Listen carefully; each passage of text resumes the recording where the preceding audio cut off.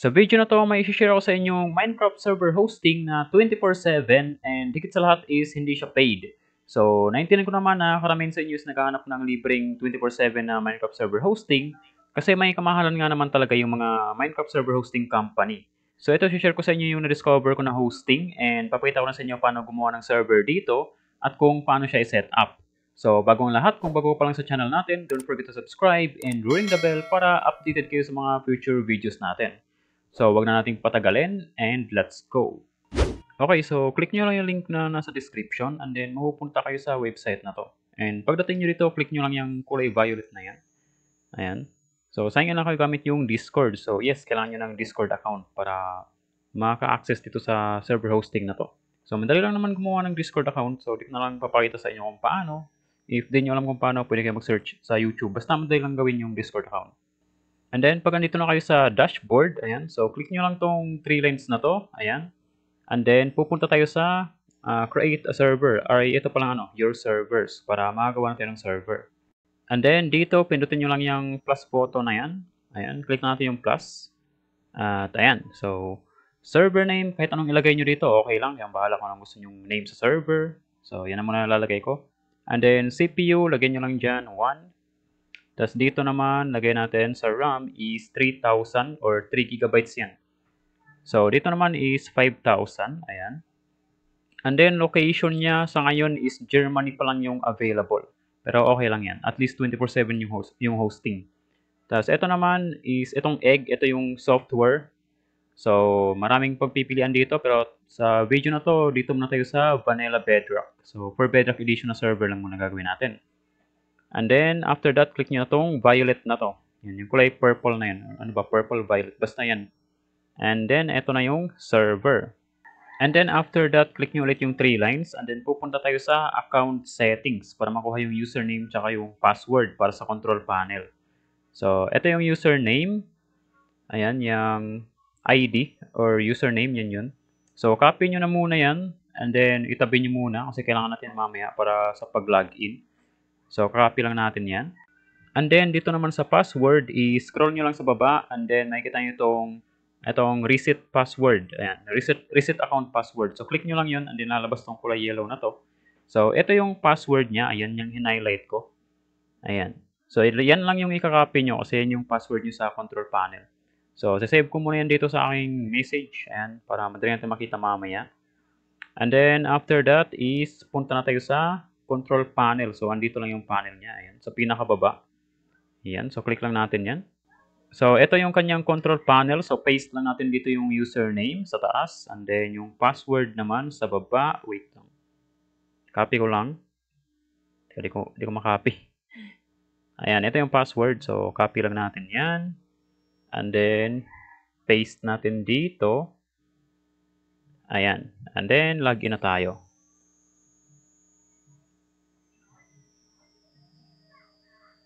Okay, so wait lang natin mag-loading and ayan na yung server natin.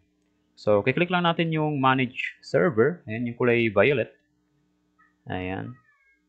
And then, pinakaunang gagawin natin is i-start muna natin yung server para mag-load yung mga files. So, click nyo lang yung kulay purple na yan and start natin server. Ayan, and ito yung resources niya. Ayan, IP at port andyan din. And yung console nasa baba pala, so medyo rare tong panel na to. Ayan, nandyan sa baba yung console. Okay, so after na after nyo i-start is i-stop naman natin kasi na-start na siya. Eh. So i-stop natin yung server, ayan. Kasi pupunta tayo sa file manager. Okay, so click nyo lang tong three lines na to. Ayan, para mapunta tayo sa uh, file manager. And then click natin yung file manager. Ayan. Pag na-click nyo na yung file manager, scroll nyo lang sa baba kasi andyan na yung file. So hindi siya nagre-reload. Baka kasi malito kayo eh. And then, unang hanapin natin is yung server.properties. Itong nasa ano, second to the last. Ayan, yung server.properties na yan. So, click lang natin yan. And so, maglo-loading siya and then scroll lang kayo ng konti sa baba at ito na yung server.properties. So, ito yung mga pwede nyong baguhin dito. So, pinakauna is yung uh, server name. Ayan. So, delete nyo lang yan kung gusto nyo palitan yung server name.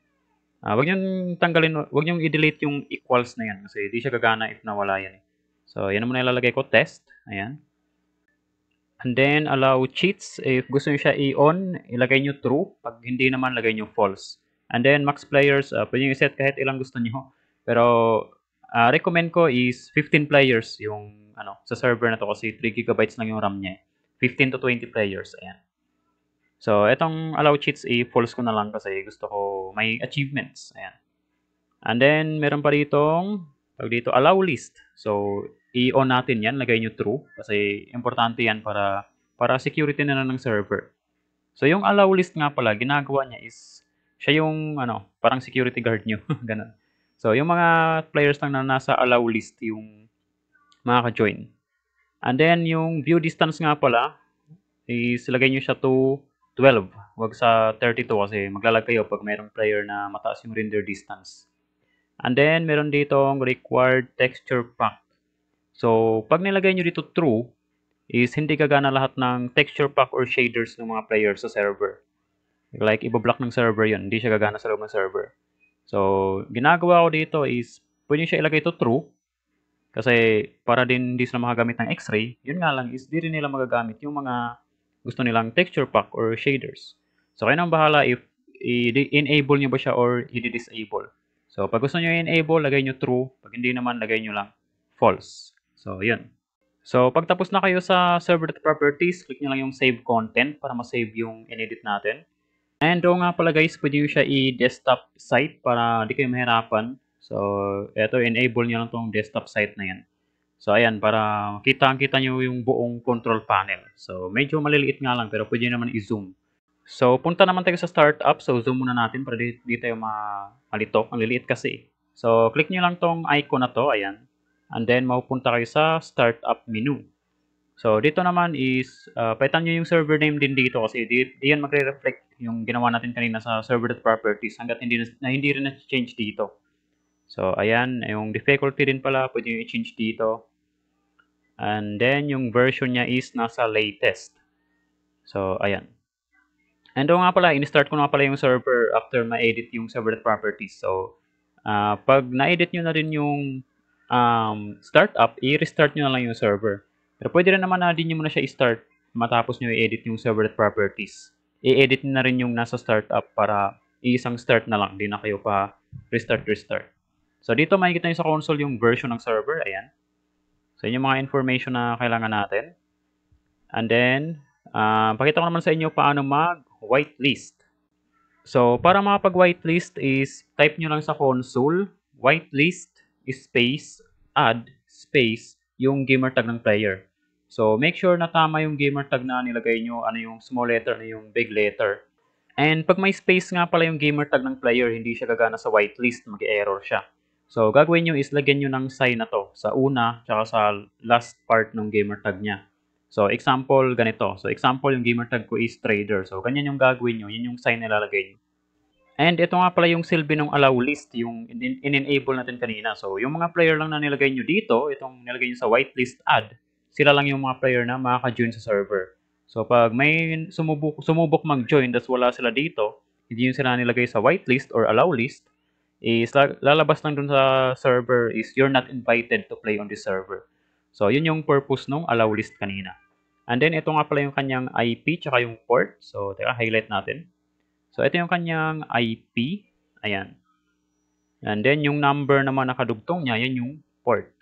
So, kakopy ko na lang yung dalawa para okay na. So, let's go sa Minecraft and tingnan natin if makaka-join na ba tayo sa server. So here we are on Minecraft Bedrock Edition. So pag sinabing Bedrock Edition, yan yung Minecraft na nasa cellphone, yung MCPE. Meron din yan sa PC, Windows 10 Edition, and console, and basta maraming platforms yan. And o nga pala, dapat naka-sign in kayo para maka-join kayo sa mga servers. So kung di nyo alam paano mag-sign in, may video ako para dyan. So lagay ko na lang yung link sa description if gusto nyo panoorin. So punta lang kayo sa servers, and then add server tayo. Ayan, so server name, kahit anong ilagay nyo dito, okay lang yan. So, dito naman is lagay natin yung IP tsaka yung port na hinapin natin kanina. So, didelete ko lang yung numbers na yan. Ayan. Kasi yan yung port. At lalagay natin yan dito sa port. Kasi port siya eh. so, ayan. Lagay natin dito yung number na yon. Okay. And then, let's click save. So, ito yung server. Tingnan natin if online ba siya. And yes, online siya and up to 999 players yung kaya niya. So, try natin mag-join. Okay, so wait lang natin.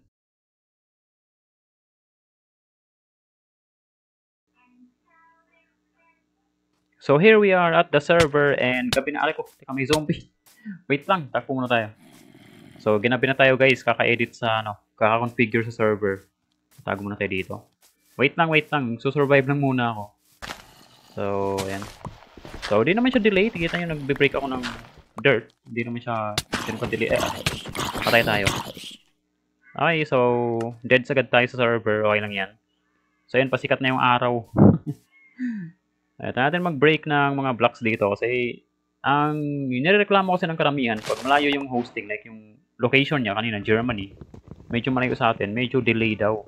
So ayan try natin mag-break ng mga blocks.